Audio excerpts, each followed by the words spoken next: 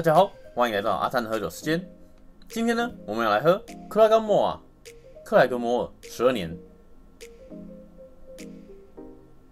今天呢是 Hibiki 的品饮杯啊，酒液呢呈金黄色的。然后我们来闻香吧，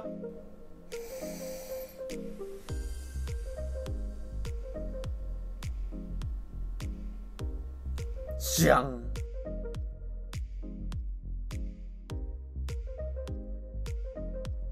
一闻呢，很明显的柑橘调，柠檬皮油的柳丁皮油的味道，酒精感算中弱，很甜美的一支酒哦。这支酒呢，我之前第一次闻的时候，我觉得它感觉好像没有吃桶吃很深，很清甜的原酒的椰子油、香蕉油的味道。但是开瓶之后，隔几天，隔个几个礼拜，我再闻，我就觉得它很多水果气息跑出来了，就像我刚刚所说的。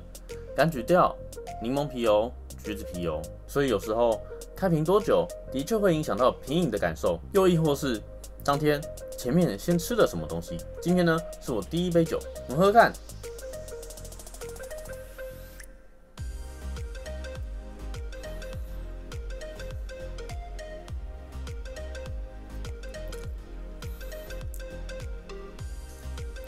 舒服。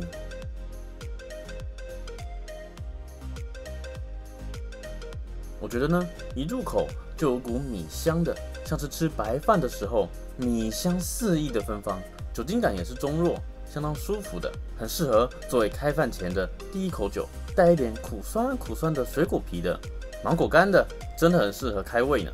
最近啊，夏天到了，很常喝 Highball，做 Highball 呢就很需要新鲜的气泡水。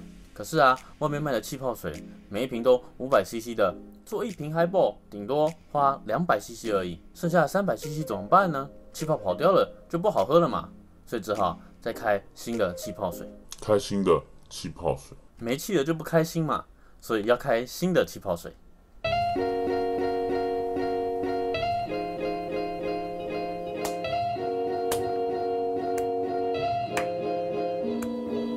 果に喜欢我的影片的话，チャンネル登録、グッドボタン、インスタグラムよろしくお願いします。バイバイ。